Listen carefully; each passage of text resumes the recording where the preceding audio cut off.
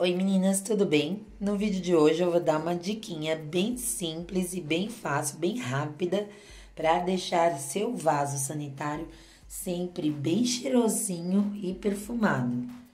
Bem limpo e perfumado. Essa dica, gente, é super fácil de fazer. Nós vamos usar um amaciante de roupas, qualquer tipo de amaciante de roupas que você tiver aí na sua casa.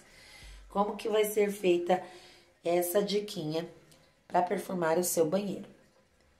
Nós vamos pegar de uma duas tampinhas de amaciante, dependendo do seu gosto. Esse meu amaciante é concentrado, então uma tampinha já dá, a não ser que eu queira um cheiro um pouquinho mais forte.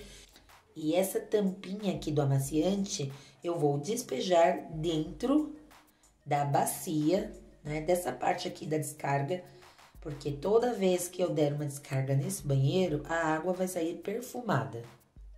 Para isso, é só você levantar essa tampinha aqui da sua descarga e despejar o amaciante na água. Tá? Você pode colocar de uma a duas tampinhas.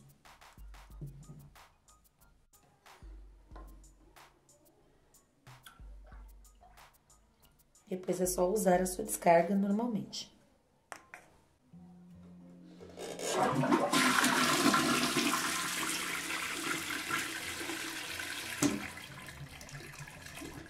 E assim o seu vaso vai ficar limpo todos os dias.